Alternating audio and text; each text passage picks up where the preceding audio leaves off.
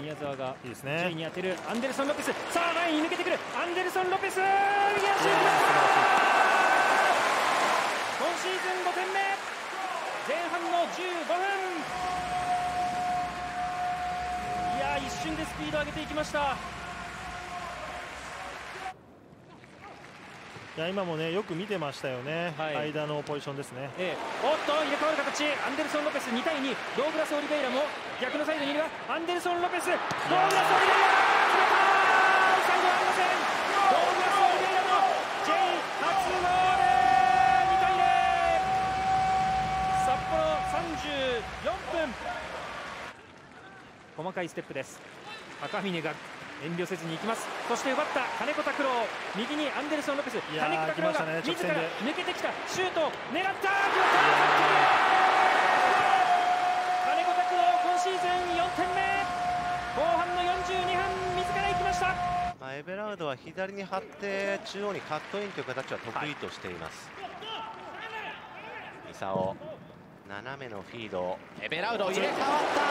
さあビッグチャンス。エベラウドだエベラウドカウンター一戦抜け出したエベラウド抜け出した、エメラルド。名古屋マイボールにします。代わって入った相馬。オーバーラップをジェソク。クロスを入れる。こぼれ球。稲垣が左足シュート決まった。稲垣のシュートで名古屋先制。後半の20分。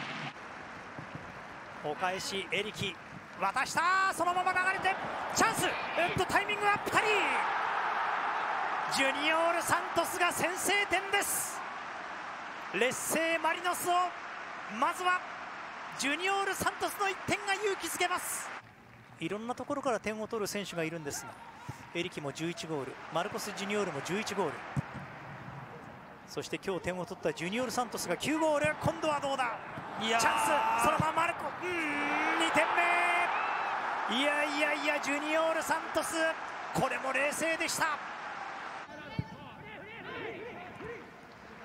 オナイワード。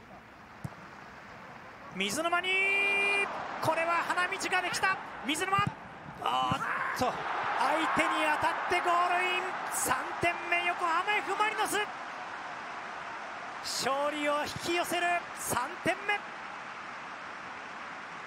同じサッカー同じテンションで入ってくる。それがうまくできています。まあ、あと非常にね強度の高いサッカーしますから、はい。90分間やり続けるの難しいですからね。はい。エリキオナイワードを見た。しかしここは使わず水沼を見ている。シュートだ！ナイスゴール！止まらない横浜 F・ マリノスは4点目ガンバのコーナー右足インスイング。ファーサイドパトリックですがそのパトリックがこぼれ球入った！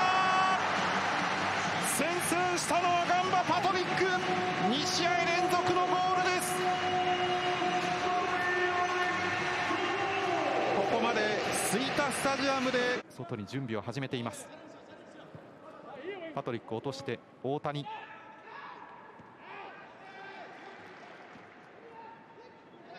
江坂と山本。小野瀬さらにこのボール。江坂からオルンガの左足だ！同点に追いつきました！オルンガの左足一閃！そしてタッチの外では倉田に代わって川崎が準備を始めています。山本間で倉田受けてアデミウソン。アデミウソン。シュートだ突き刺さりました！オルンガが決めればアデミウソンも決める！ガンバ一歩前に出ました！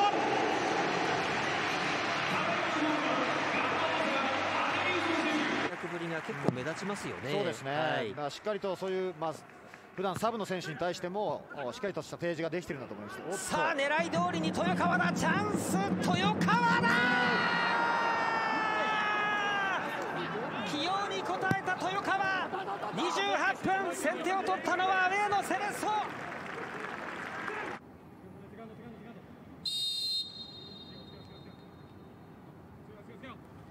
おっと反応しましたがギリギリに決めました。興梠1対1同点です。34分浦和追いつきました。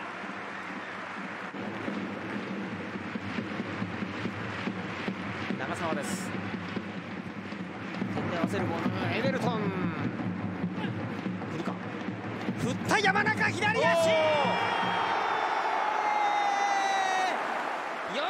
分逆転しました浦和。宇賀神出場停止。出番を得ました山中。痛烈な左足。おゆるきゆるきお来たか。滑らせてレオナルドだ。おこぼれ球。最後そこにこのマルティノスがいました。糸口作ったのは入ったばかりのレオナルド。最後仕留めたのはこのマルティノスです。ハリク。右ブス左は斉藤左の斉藤を使います。斉藤。そして旗も上がってくる斉藤からのクロスバラダ先制湘南バラダのヘディングシュート。今日 J1 通算200試合の出場のバラダが節目の試合で先制弾です。あここはちょっと湘南もったいない形で奪われる。小山松です。松岡顔出してくる。中には4人松岡からのボール。ヘディング決まったチョドンゴンチョドンゴンが決めきりまして鳥栖1対1岡本。あーこれ原かただまだバラダ原川も行く。素早く入れるバラダそしてタリクだ。